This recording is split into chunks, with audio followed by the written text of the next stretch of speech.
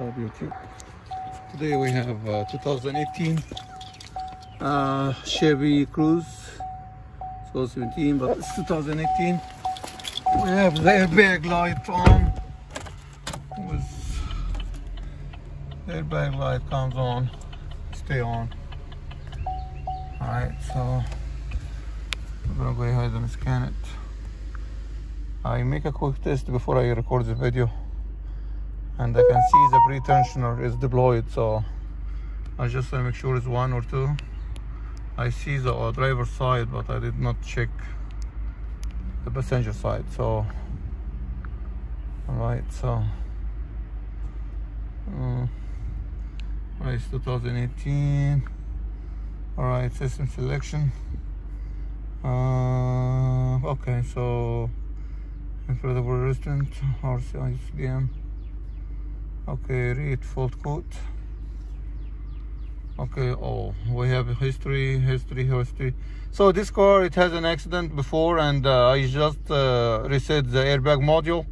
So when i went when i went back to check why the air uh, the airbag light on and here you go. Uh, history history history. All of them is a history history history is not current not requested.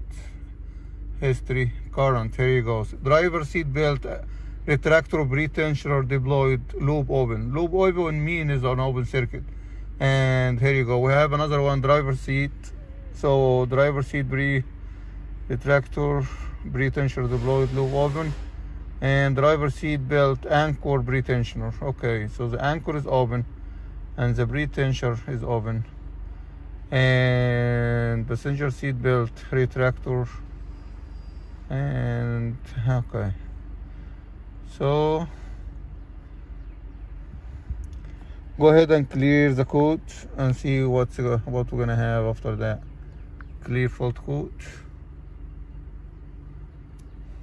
okay.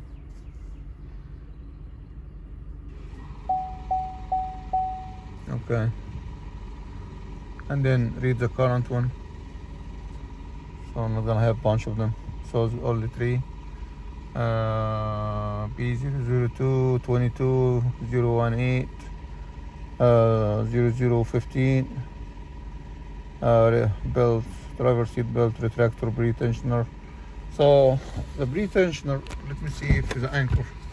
Let me turn off the light first. Okay all right so you see the anchor. The anchor is almost deployed. If you can see it should be closed and a little ball coming out. And uh, I'm gonna go ahead. Okay. Plug this one back in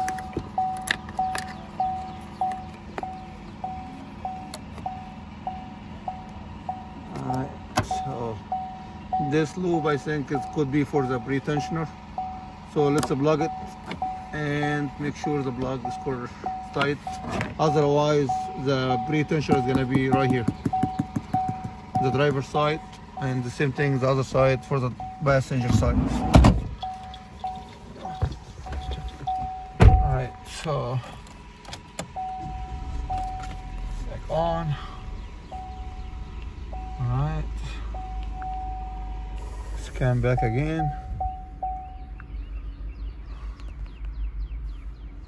Alright, so now when we plug on the seatbelt anchor, pre-tensioner has become a history. So from three code, if we clear this, we're gonna end up with two code, I think.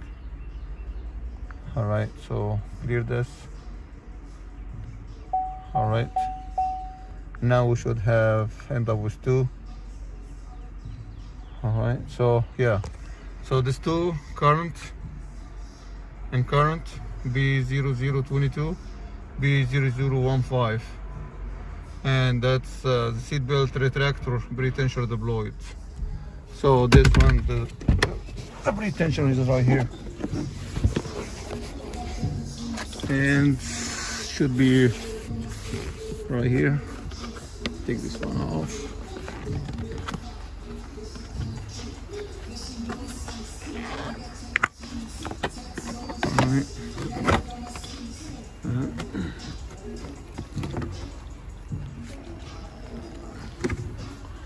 right, so yeah we need to check those.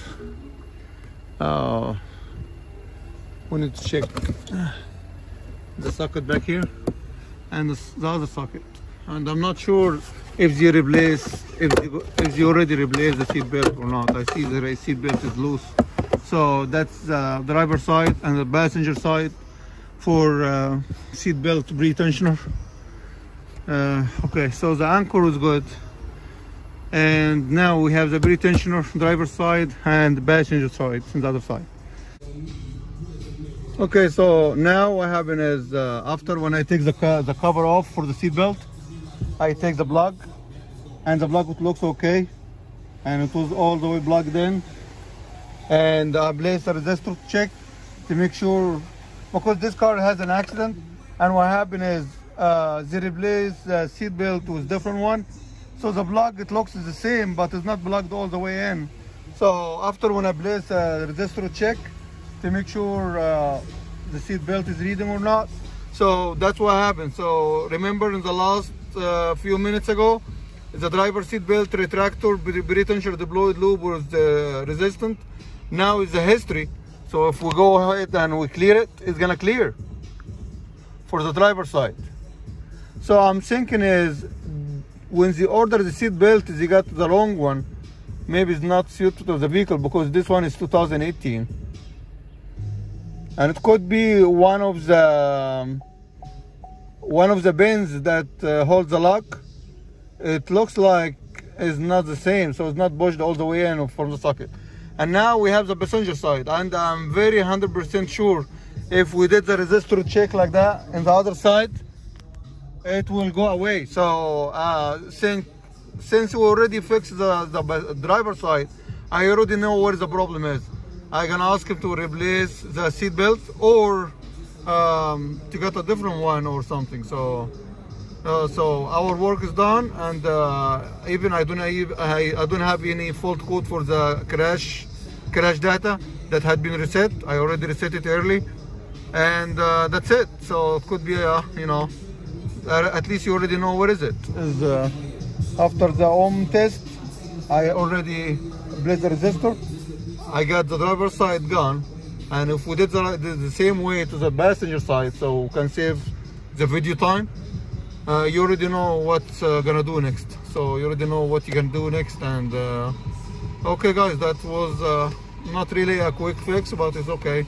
Uh, maybe 15 minutes. So thank you for watching